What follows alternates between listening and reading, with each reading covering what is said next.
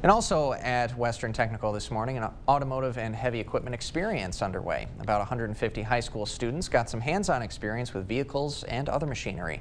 Representatives from Western's automotive program says today was a great way to introduce teens to the industry and show them options for post-high school programs, especially because experiences like these hard to come by at most schools.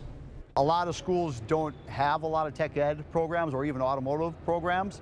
Uh, so this is an opportunity to come check out uh, those areas of interest uh, because they can't do that in their high school setting.